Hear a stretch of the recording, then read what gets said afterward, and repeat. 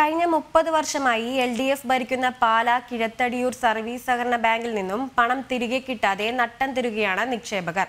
മുൻ ഭരണസമിതി അംഗങ്ങളടക്കം നാനൂറ് കോടിയിലധികം രൂപയാണ് ബിനാമി ഇടപാടുകളിലൂടെ വകമാറ്റിയിരിക്കുന്നത് ലക്ഷങ്ങൾ നിക്ഷേപിച്ചവർക്ക് പോലും ആയിരം രൂപ വീതമാണ് ഇപ്പോൾ പിൻവലിക്കാനാകുന്നത്. സഹകരണ മന്ത്രിയുടെ സ്വന്തം ജില്ലയായ കോട്ടയത്തെ കിഴതടിയൂർ സർവീസ് സഹകരണ ബാങ്കിലാണ് ഇത്തരത്തിൽ വലിയ ക്രമക്കേട് നടന്നിരിക്കുന്നത്.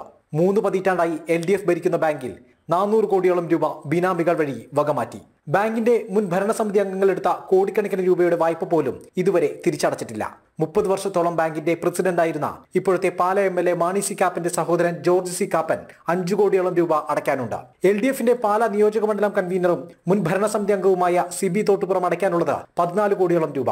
മുൻ ഡയറക്ടർ അഡ്വക്കേറ്റ് അജി ജോസും കോടികളാണ് തിരിച്ചടയ്ക്കാനുള്ളത്. വ്യാജമായി ഭൂമി ഉയർന്ന വാല്യുവേഷൻ കാണിച്ചും കൃത്രിമം നടത്തിയുമാണ് പലരും കോടികൾ ലോണായി കൈപ്പറ്റിയത്. ഇതിനു പുറമെ വലവൂർ കടനാട് സഹകരണ ബാങ്കുകളിലും തട്ടിപ്പ് നടന്നതായും ഇ ഡി അന്വേഷിക്കണമെന്നും ആവശ്യപ്പെട്ട് കേന്ദ്ര ആഭ്യന്തരമന്ത്രി അമിത്ഷായെ സമീപിച്ചിരിക്കുകയാണ് ബി ജെ പി. പാലായിലെ മുഴുവൻ സർവീസ് സഹകരണ ബാങ്കിലും ഇത്തരത്തിൽ നടന്ന അതായത് മാർക്കറ്റിംഗ് സൊസൈറ്റി ഉൾപ്പെടെയുള്ള സ്ഥാപനങ്ങളിൽ നടന്ന അഴിമതികൾ ഇ ഡിയുടെ അന്വേഷണം കൊണ്ടുവരണമെന്നാണ് ഞങ്ങൾ ആവശ്യപ്പെട്ടിരിക്കുന്നത്. അങ്ങനെയാണ് ഞങ്ങളിപ്പോൾ ഇതിന്റെ ഡ്രാഫ്റ്റ് തയ്യാർ പരാതിക്കാരുടെ എല്ലാം ഡ്രാഫ്റ്റ് തയ്യാറാക്കിക്കൊണ്ട് നമ്മൾ അമിത്ഷായിക്ക് അയച്ചിരിക്കുന്ന പരാതി. എന്താണേലും പാലായിലെ മുഴുവൻ അഴിമതികളും പുറത്തു കൊണ്ടുവന്നതിന് ശേഷം പാലായിക്ക് നല്ല രീതിയിലുള്ള ഒരു സുസ്ഥിരമായ ഒരു സഹകാരികൾക്ക് എല്ലാവർക്കും സുസ്ഥിരമായ രീതിയിൽ ഉള്ള അവരുടെ ഫണ്ട് തിരിച്ചു കിട്ടുവാനുള്ള ഒരു സംവിധാനത്തിലോട്ട് ഇത് എത്തിക്കണമെന്നാണ് ഭാരതീയ ജനതാ പാർട്ടിക്ക് ആവശ്യപ്പെടുവാനുള്ളത്. ആറു മാസത്തിനുള്ളിൽ ബാങ്കിന്റെ പ്രതിസന്ധികൾ പരിഹരിക്കാനാകുമെന്നാണ് ഭരണസമിതിയുടെ കണക്കുകൂട്ടൽ. ജപ്തി നടപടികൾ ഉടൻ ആരംഭിക്കുമെന്നും ബാങ്ക് അധികൃതർ വ്യക്തമാക്കുന്നു. തിരിച്ചടവിനകത്ത് കുറേ വീഴ്ചകൾ വന്നിട്ടുണ്ട്. ഇക്കാര്യത്തിൽ ഫലപ്രദമായ റിക്കവറി നടപടികൾ എടുക്കാൻ കഴിഞ്ഞിരുന്നില്ല.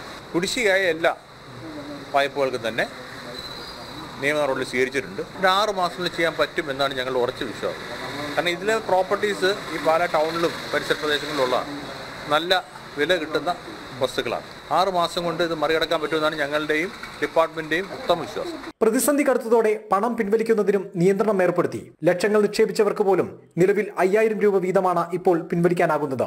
പ്രശ്നം ഉടൻ പരിഹരിക്കുമെന്ന ബാങ്കിന്റെ വാഗ്ദാനം എത്രത്തോളം വിശ്വസിക്കാനാകുമെന്ന ആശങ്കയിലാണ് ഇടപാടുകാർ.